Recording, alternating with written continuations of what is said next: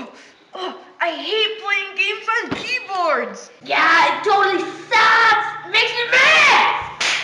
Hi, I'm John Glotman here for Joysticks. This product I'm holding in my hands will revolutionize gaming. You can push it, pull it, press it, and throw it. Throwing, not recommended. This product is so amazing, just ask some of our valued customers. It totally revolutionized gaming. Joystick for $1969 plus $2,000 shipping and handling.